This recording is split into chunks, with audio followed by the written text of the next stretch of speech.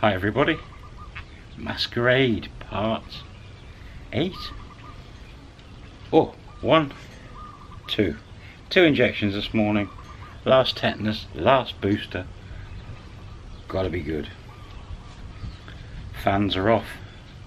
Roosters are asleep. Cats are asleep. Let's recap.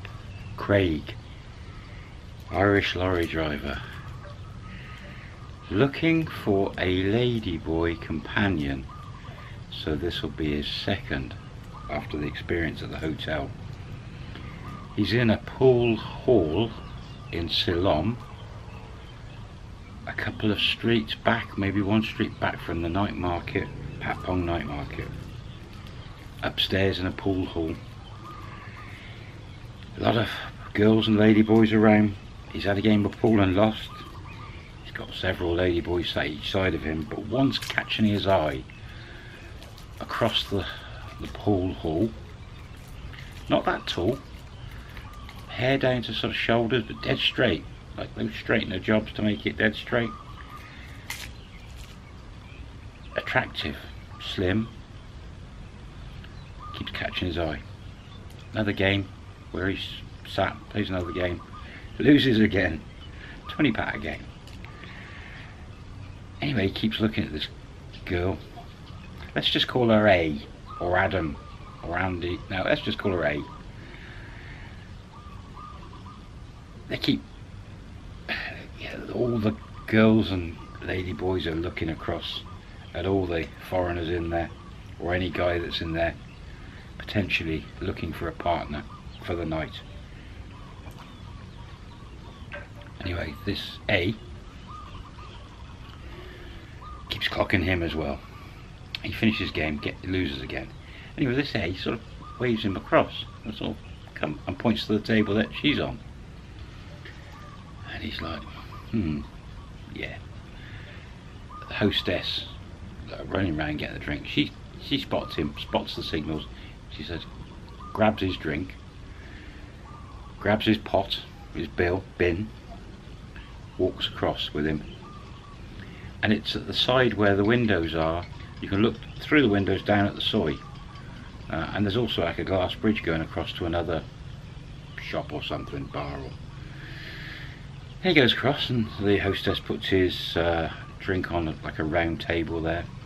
Small round table, quite high. Uh, and the bin. And she sort of stands back. And they say she's not on the table playing She puts hand out and shakes his hand. Speaks quite good English, bit broken but quite good. And they just start chatting, introducing each other. You know, Craig, like, oh, I'm Craig, nice to meet you. Um, and the hostess says, do you want to play, put your name on the board? And he's like, can I not play on a separate table, just me and A? She said, no, all the tables are taken, people waiting. And A says, it's finished drink and she points out the window across the road downstairs there's two three beer bars there and there's one table you can see and there's no one on it. She said we can play there. He says great. So, hostess bill and they say shouts for a bill as well. He's not that much of a gentleman because he didn't pay a bill. Paid his. Yeah off they walk down the stairs across the road to this bar, walks in, no one at the table, and uh, he said, come check if we can play on our own, we haven't got a queue. And they say, talks to the, oh, go back to sleep. Talks to this woman behind the bar, and like, can we play for a while? Just us. Yep, no problem. 20 baht a game. A orders drinks, and A has a beer.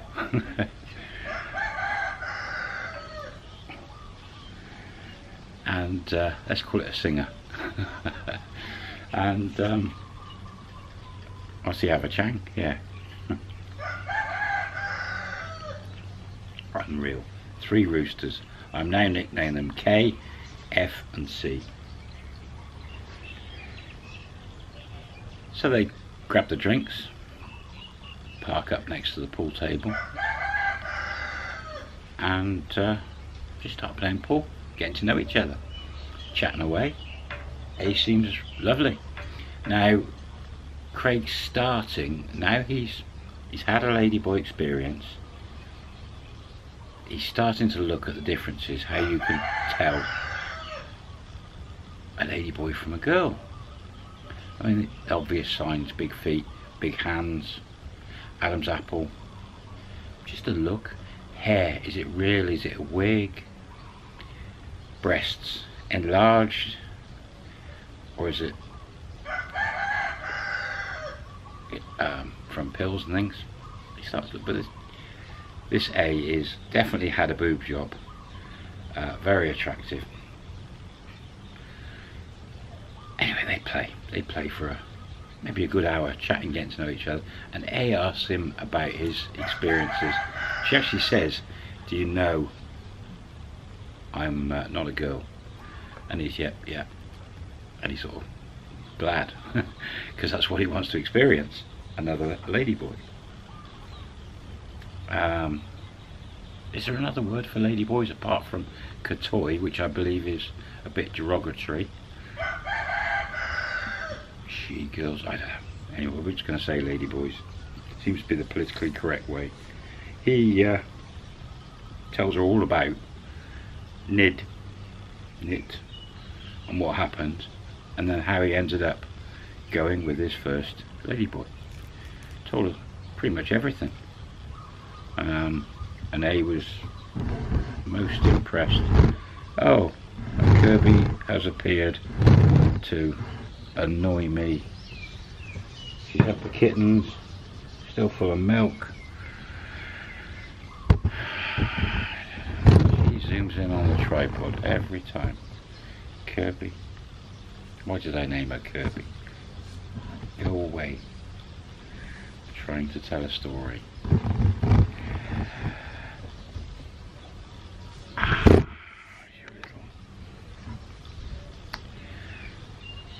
A tells him a bit about her background and um, they just get on great, they just really do. Then comes crunch time. I mean, it must be getting on a bit, sort of late in the evening. And Craig thinks, yeah, this is uh, this is the girl. And he says to A, um, will you spend the night with me? And A very diplomatically comes around to the finances and they agree on a price of about 2,000 baht. Um, Craig never actually told me the exact figure, so I'm just going to guess about 2,000 baht. And A's happy, yeah, we've done a deal, you know, they they've done a deal and uh, she asks where his hotel was and he tells her. And uh, okay. So she already knew which end of the road to go to get the taxis to go back in that direction to the hotel. So that's uh, was good. Pay the bill. He pays the bill this time. Walk up the end of the road hail a taxi taxi meter. Off to the hotel. Pull up at the hotel and uh, they both shuffle out the passenger side. Craig pays the taxi driver. And hand in hand they almost skip through the revolving door of the hotel. As they go through the revolving door of the hotel, to your right hand side, pretty much a good long desks for the reception. It's a bit of a seating bar area to the left. Um, and then a bit further down on the left is a seating area for coffee and things and then I think there's an internet cafe just after that. Come through the doors, I think Craig comes through first, A comes through, he sort of pulls her through, and as they get through the doors, Craig stops in his tracks and stops A. His receptionist to his right, right in front of him, 20 metres, sat in a chair staring straight at him is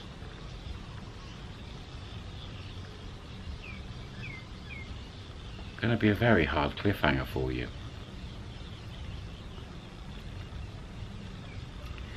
I'm going to change things up a bit and I'm going to tell you another story. And I'm going to keep you waiting on this. I want to try something else. In a small village, northern, northeastern section of Thailand, not far from Udon Thani, in a district by the name of Surin. Um,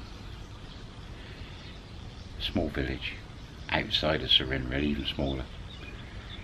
Is a family, a mother and father, uh, only child, a son, Martin. And this is a, a story about Martin. Martin, between the age of 8 and 12, realised he was a bit different from the other boys. He didn't like the boyish games. He would rather try and play with the girls. Mind you, all the boys wanted to play with the girls, but he wanted to play with the girls. And maybe play girly games. He was going through that uh, last section of the junior school. Mum loved him. He helped around the house, loved cleaning, loved doing chores. His father was a, a member of the council, local government, had a very a reasonably good job, wasn't huge pay, but reasonable, and they had a a townhouse they lived in, but it was a double townhouse. And at the front of the one townhouse um, the mother sold some bakery products and it was just like a bit of a shop. She did part-time uh, in the daytime. And Martin would help out as well when he was home. This story about Martin it's uh, it's we're going to accelerate it and uh, try and understand what happened to Martin going forward. He reached secondary school, the equivalent of secondary school, 12 years old. It was um, a little bit further, it was a bus journey away from home to get to school, 20 minutes on the bus. It was uh, like a government uh, uh, bus service that the family had to pay a little bit of money for, but it was subsidised, so not too bad. Martin arrived at the, the, the, secondary school at 12 years old, and for the next first few years, um, settled in okay. He did know some people from his area, went to the same school, and met a lot of new friends, but again, was not socializing with the boys, more with the girls, quite in a quite feminine way. He knew as he was approaching his teens that he was different. Something wasn't quite right in his mind. He he met a couple of other children as he sort of got to 14, 15 that were the same as him but they dressed more feminine. It was a just an average public school, so there wasn't strict um, rules in place about hair and dress. It was quite a poor area, but even so, it was a, a basic uniform. But he did meet some other boys and other boys at the same age as him, 14, 15, were exploring girls, as in boyfriends, girlfriends, and but he wasn't interested in that way. He had no feelings sexually towards girls at all. And these other boys he met were the same. And a couple of years older than them, maybe they were six formers, they were 16, 17 that had stayed on at school, for further education were boys that were wearing girls' clothes and acting like girls but not, you know, not not gay, not well, not maybe not knowing if they were gay or not, but potential lady boys, as in a girl that's been, as I possibly see it, as a girl that's been born in a boy's body, trapped in a boy's body, that wants to get out. Um, and Martin, as he 15, 16, more and more time at home doing chores with mum, didn't really go out and about, like dressing up at home in slightly different clothes. And Martin's mum, she knew. She she had the feeling she could that she just knew that Martin wasn't right, wasn't happy, he was different. His father wasn't really interested.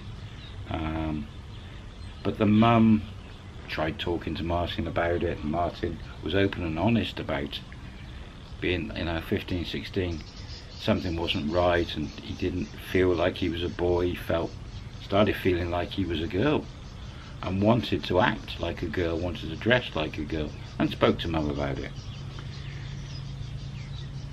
in the small village it was there was no other lady boys as such.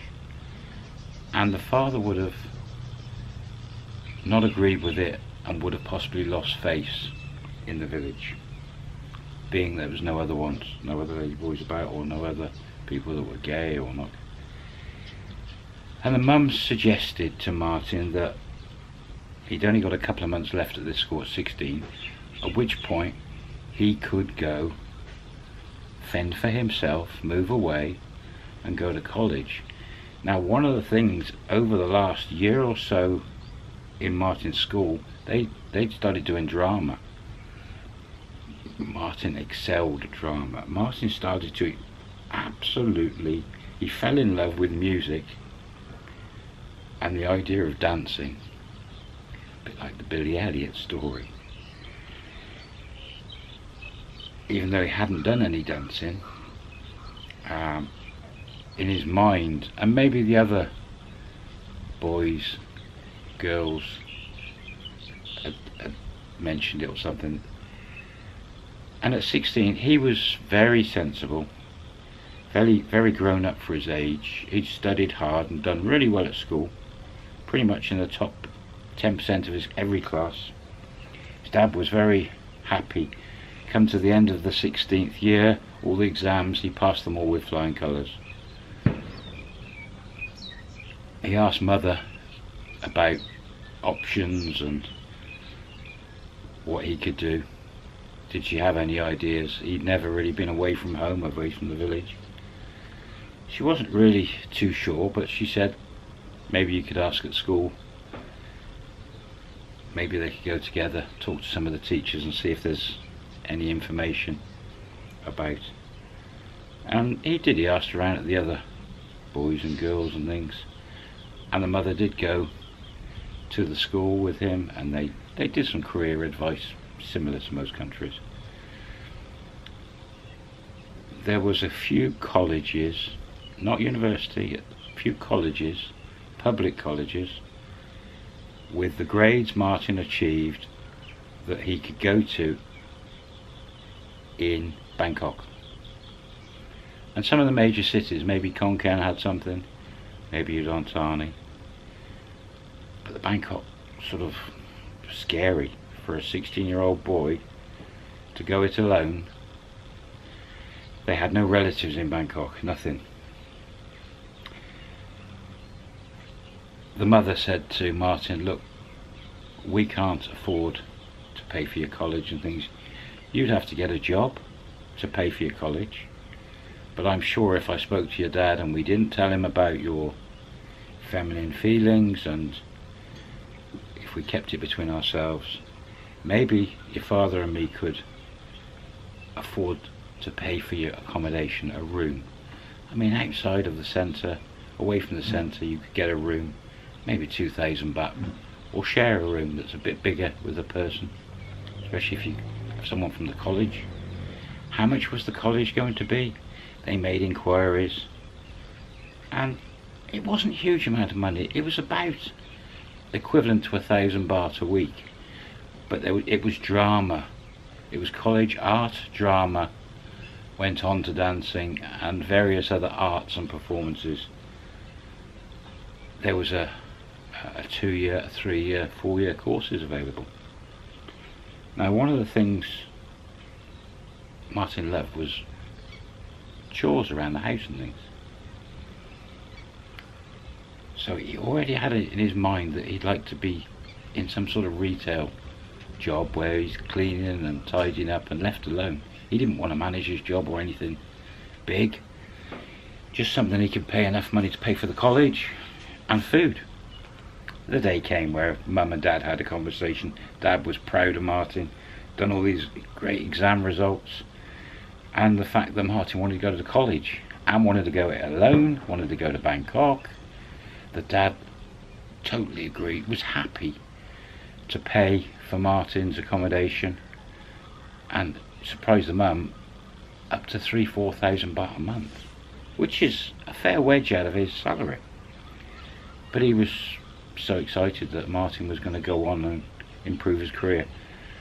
But when Martin said that the college he wanted was arts and performance and drama, the father wasn't really that impressed. Thought he was going to go on maybe to business school or something but it was going to be for a degree or bachelor's or master's degree so it still was going to be good so the father like yep happy um, and suggested that uh, the family they would go down and spend a few days in Bangkok and try and enroll him with the college that he wants to go to he said that he would pay as well for the first same month on top of this accommodation to get it all started. So time for Martin to find a job.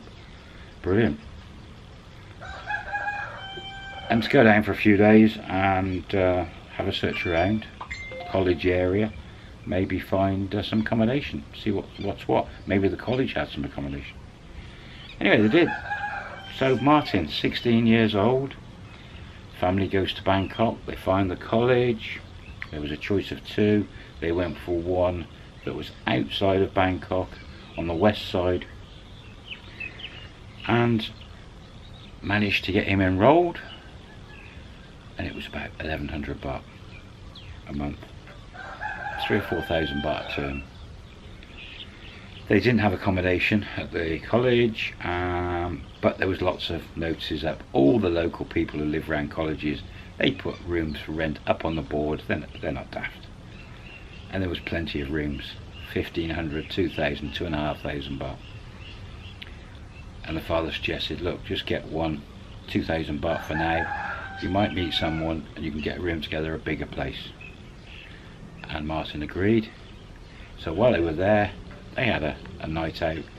Next day they took all the phone numbers and went and looked at rooms. And within a couple of hours they'd found a room that was half a kilometre away.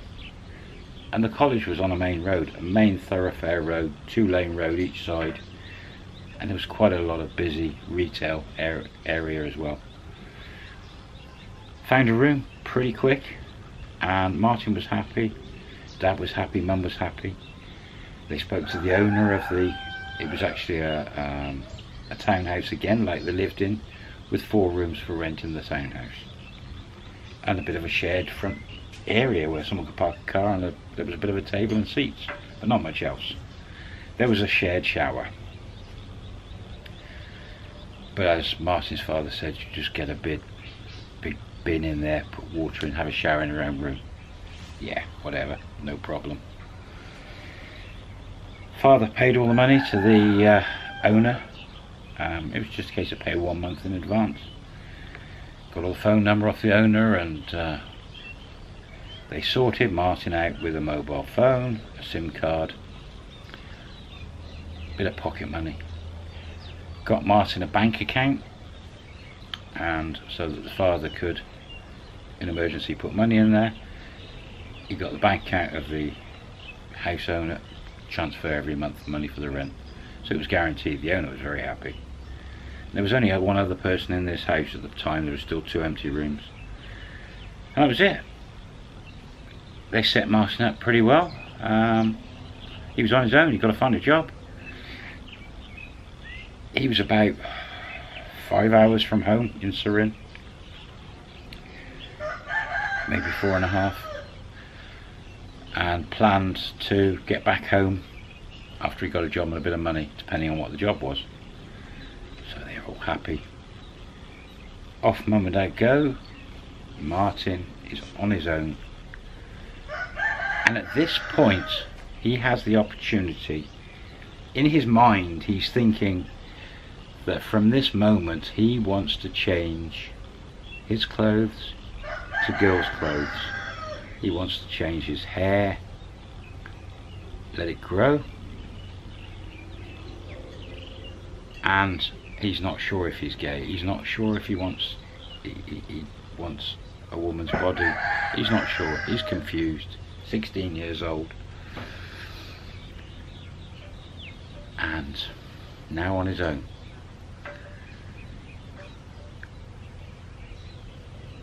Straight away, he needs food. Out he goes. Explore the road, explore the area. So he heads off. There's a, a big supermarket, one kilometre up on the right, a Big C, supermarket and shops. There's loads of little shops all the way along, restaurants, cafes, salons. And he's just walking. He's literally just come out of his room. He's walking along, heading away from the college, trying to find somewhere to sell roosters to. Now, going along the road, and fate a couple of bus stops, shops right next to the bus stop, bit of food for sale there. In the window of a salon, help wanted, and it says a students okay, um, part time. He's just, he's just, okay, why not? Let's find out. He's sensible lad, very sensible. He just walked straight in. It's a ladies salon. It's uh, aimed at ladies. There's one girl there cutting hair and nobody else but there's two other chairs and he says he's seen the sign and what's the job and the, the girl ladies I'm sorry I don't know you need to see the boss she's out back tomorrow morning come back 10 o'clock or whatever he's like okay thanks out he comes so nearly fake stepping in. anyway, off he goes, gets food, has a look around. He's going to need some bits and pieces for his room, but not much. Thai people tend to live out and eat out all the time. So he's going to need a plate and some cutlery maybe and uh, cups and things, but he'll sort that out the next day. He's got three or four days before the college starts. Um, and he's got to learn his way around the college etc next morning goes out gets some breakfast chicken soup goes to the salon walks in there's three ladies in there anyway the first girl you saw the night before recognised him and she was at the front chair and she turns around to the other woman and said oh this boy on about the job. And Martin, he's still sort of dressed like a boy, but his voice, he's making it, trying to make it more feminine. As it happens for him, the lady who owns the shop and uh, runs it is a ladyboy. I'm going to call her B. Face again for Martin. Martin says hello. And B sort of puzzled looking at him. You're a boy. She said the job here is cleaning up, making drinks for us, making drinks for the customers. Um, whatever else we want you to do, go for stuff and uh, a Thai gopher. Go for this and go for that and help out in the shop. It's not a big huge shop but it's got three hairdresser seats and mirrors, and there's sinks and things. And she said, if you like it and we like you, maybe we'll teach you bits and pieces of hairdressing. Martin's trying to put the feminine voice on. Not he's not doing a very good job, and he's excited, and said he'd love the job. And B's she's just looking at him and puzzled, and you're a boy. Why do you want to work in a hairdresser's? And he's like, I'm not really a a, a boy boy. I'm not masculine. I'm I'm different. That's probably the first person he said that to. And B sort of, hmm. And she says, well, it's part time. You're at college here, I take it. in Thai. they're only speak, he doesn't speak English. And he's, yeah, I start in three or four days' time doing drama and art, all the rest of it. I don't know what the hours are yet. And she said, well, I pretty much know. She said, but do you, you want to, how much do you want to work? Do you want to work every day, four days, five days, six days? Seven? He said, I need to pay for, the college and my food. Um, so probably a lot. and B's explained it, it's not huge money, but it's probably a couple of hundred maybe 150 baht a shift. I mean a full day for, this is a few years ago, so this is 10, 15 years ago. So the average salary then in jobs was probably 250 baht a day, so it was probably 100, 100 baht a day, maybe 150.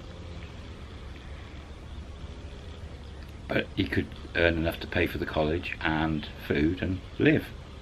And B seemed to understand and knew roughly, she must have had students there before that and the prices and things. Anyway, she agreed to sort him out and for him to just start and see how he gets on, but do a few days. Aim for six days a week because Sundays uh, he needs to study probably, but they, if he wants to work seven, they can because the shop's open seven, but they're not always there, all three of them.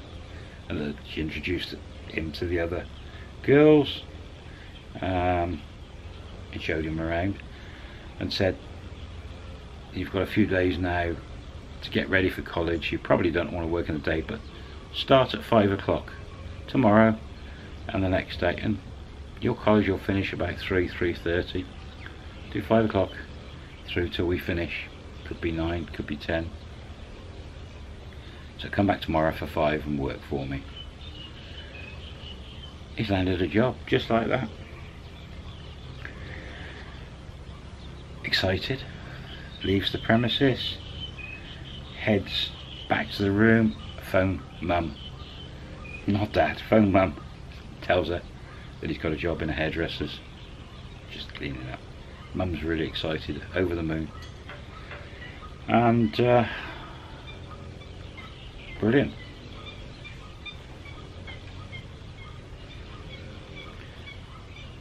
Craig's come through those doors with a, they stood there right in front of him, sat in the chair,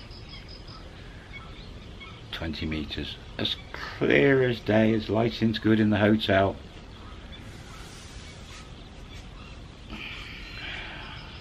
Who is it? Yeah, we know who it is. It's Nid.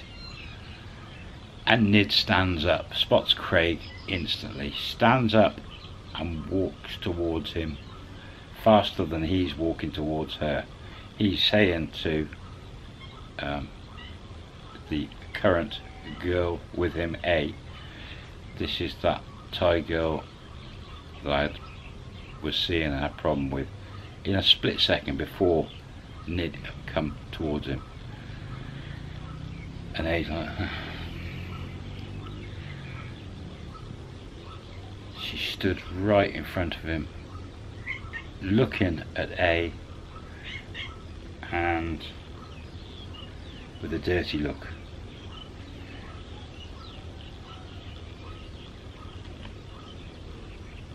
Craig's pretty speechless. He doesn't know what she's going to say. He's wondering what she's doing there.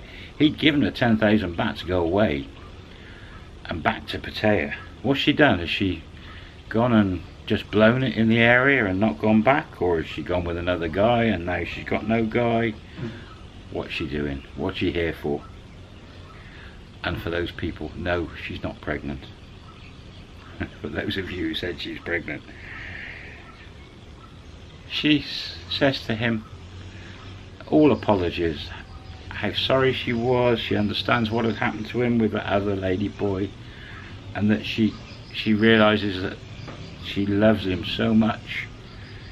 She doesn't love the older guy that's given her loads of money and she says that she would love to finish with that guy and spend time solely with Craig and that she loves him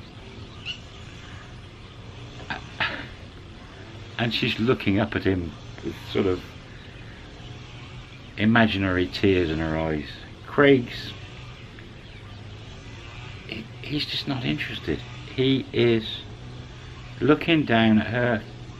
He's not much taller than her but he's he's looking at her and he's and he's saying I'm not interested.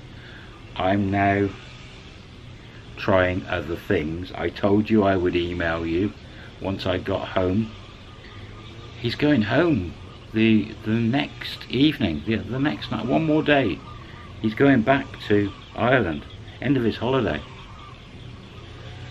and he said I'm not I'm busy I'm I'm not coming back to you I'm, I will email you in the future.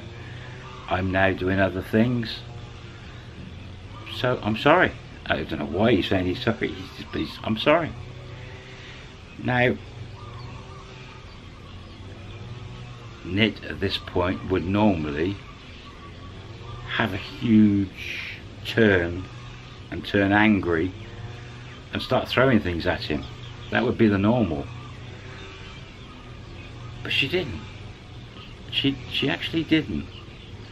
She then she starts again. Please, I would, I want you. And she off again. And he's no. He stands his ground. I'm sorry. I'm not. No, it's not happening. She'd been there for probably hours waiting for him. And he says then, he says, go back to Pattaya. Go back to that guy. I when I come back I'll email you to let you know I'm back and maybe I'll come and see you. I think at this point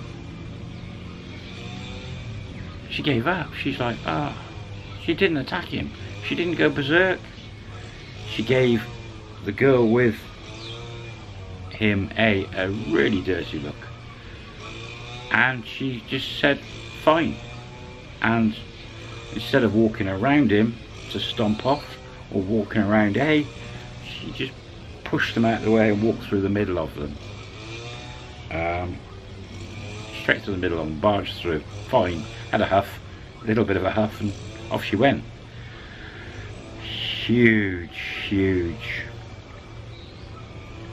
relief from Craig, and he looks at A and says, I'm sorry, and A's like, don't worry, no problem. And he walked over to reception The girl from reception sort of looks at Craig and looks at his A, knowing that A's a ladyboy and sort of smiles. He gets his key. Again, no security, no request for ID cards at that hotel, nothing. And uh, his adventure begins for the night. Off they go to the room. And at uh, 8.30 in the morning A is dressed and ready to go and leave she'd already twigged when he said that he was going that night late that night he was going back to Ireland. So there was no point in trying to get another date with him. It was pointless. So uh, he said goodbyes to Craig. Uh, he gave us some money. And uh, he'd had another experimental night. Wasn't the same as the first girl, lady boy. Different again. But he enjoyed himself. He the experience was more relaxing than his normal previous encounters with women. He was comfortable in what had just happened. He grabbed his uh, clothes and was going to head down to breakfast, so he said to her, I'll walk you out. Gave her money, kissed her goodbye. They went down in the lift, out to the doors, said goodbye. He got A's phone number, line ID, wasn't around in those days, but phone number, and uh, email address. Said maybe contact her next time he was in Thailand. There was no definite plans to come back to Thailand, but thought, you know, maybe he would. I don't know at this point. Anyway, walks to the door, says goodbye, off she goes. Goes off. Breakfast. Reasonably nice breakfast, a sort of buffet breakfast. He sat there eating his breakfast, mulling over life. He was flying home that night. He'd had a few weeks and it had been a complete life changer in some ways, this holiday. He sat with the window behind him, the main road behind, table, almost finished. And he looks across and there's a girl from the reception that uh, stands on this little desk gets your room number as you come in to make sure that you whether you pay in or it's free breakfast his was included so um, and he looked across at this girl checking in people and there stood giving her room number was a beautiful woman with no bandage on her neck.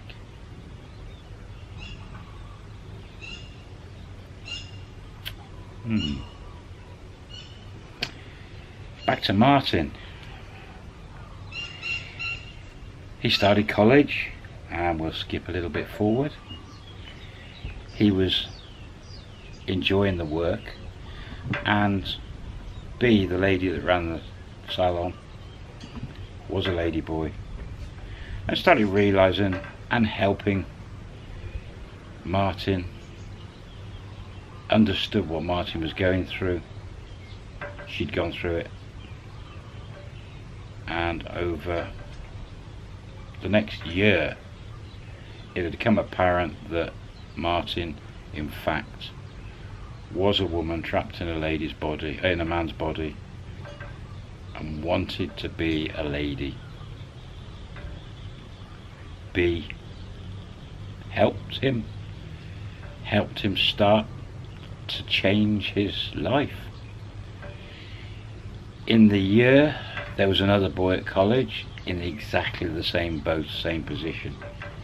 Martin and this boy got on really well, so much so that he moved out of the room he was in. They found a bigger place, an apartment that they could afford between them and it was perfect so they were going to go through the transition together.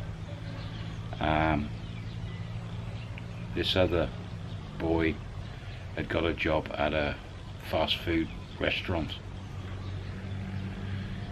And they were going to go through college together. Martin changed his name, his clothes, he started dressing feminine in women's clothes, changed his name to Maddy M-A-D-D-Y, Maddy.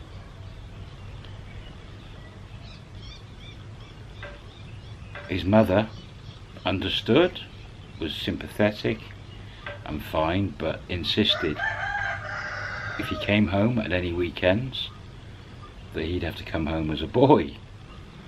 Which was tricky because Maddy wanted to grow hair long, start taking pills to change hormones and to grow a female breast and but he was gonna have to be gonna have to wear a hat with hair under the hat and stuff to go home and see dad. He, he somehow managed it. But in that first well, through that first year, Martin, Maddy, and B, the boss at the hairdresser, discovered that Maddy had a knack with hairdressing. A real, real knack. In fact, B started coaching Maddy in hairdressing and it's confusing talking about Maddy and Martin. We're going to have to call Martin Maddy from now on. And Maddy was picked it up really quick. Definitely had an artistic streak in her, Maddy. Martin is now a woman in the story. Really, really good at hairdressing. Um, and B has become a coach, a mentor about changing sexuality across becoming a woman. Helps Martin and his friend. His friend came to visit when he wasn't working. And within the start of the second year, Maddy was so good at hairdressing, B gave Maddy a considerable pay rise, a considerable, it was a, a good salon, was always busy, and gave Maddy a chair. Um, and Maddy started cutting hair to a high, high standard, really high standard. It was almost a natural.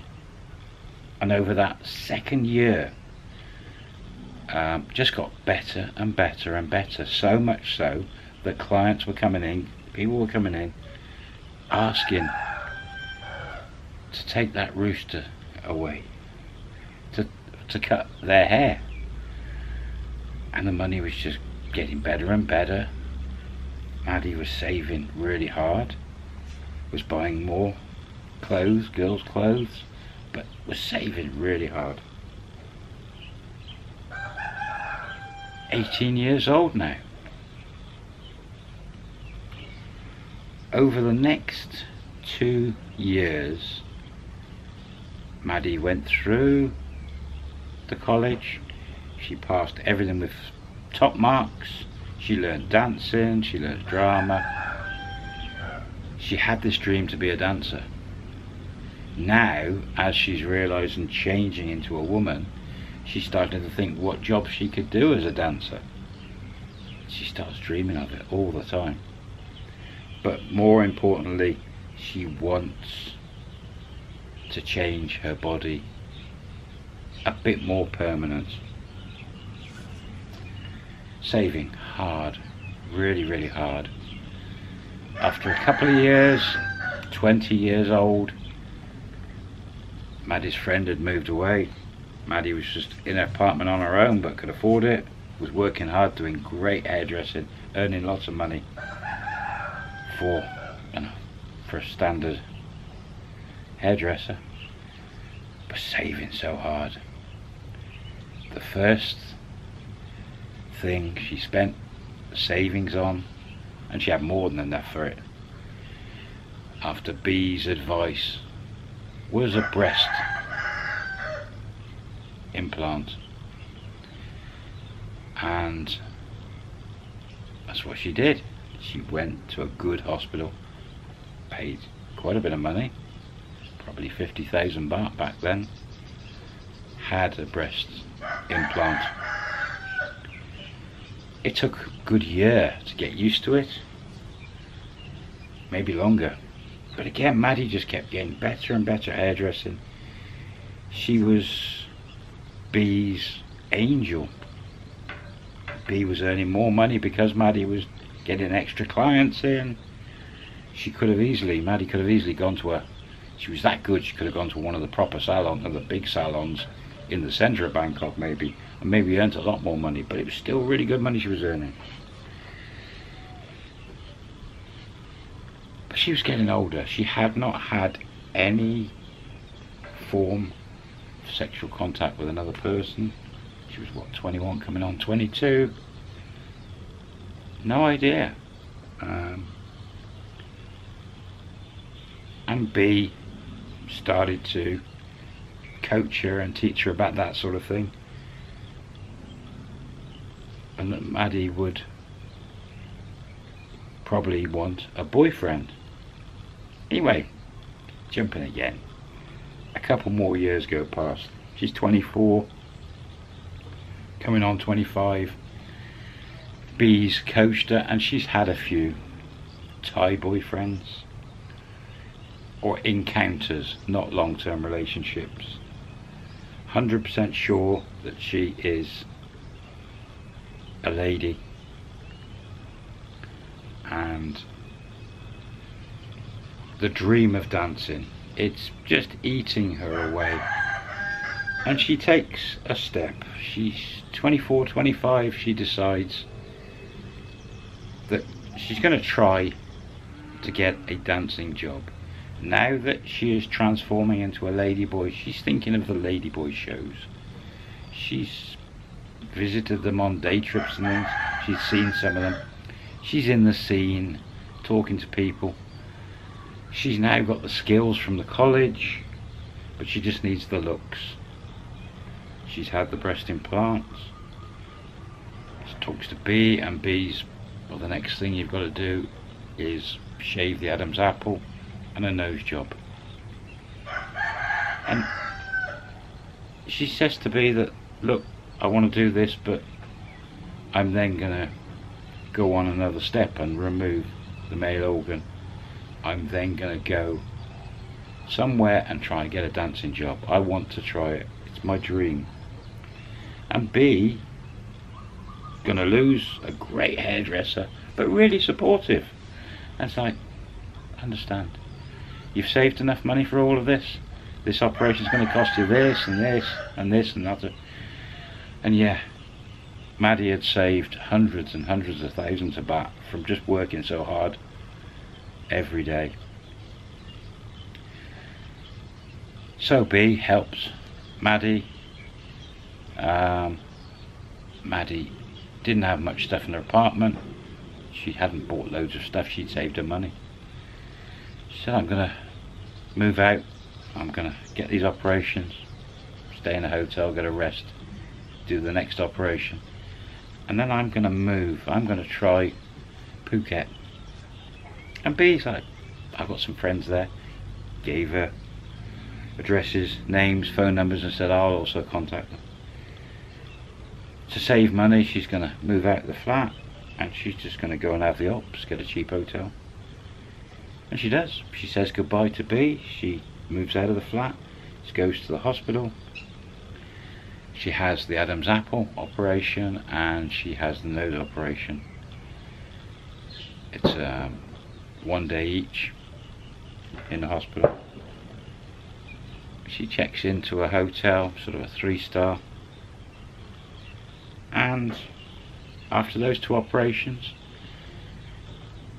she's at the hotel relaxing.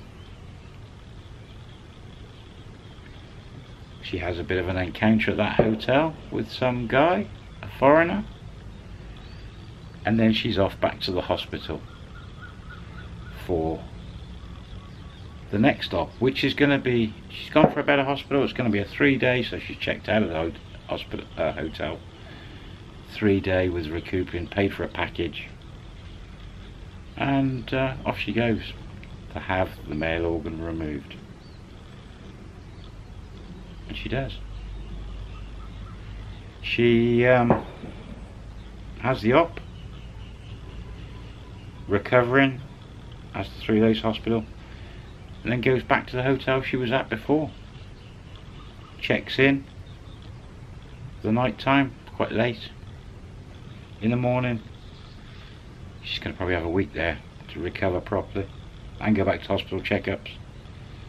In the morning she comes down for breakfast and she's scared happy confused.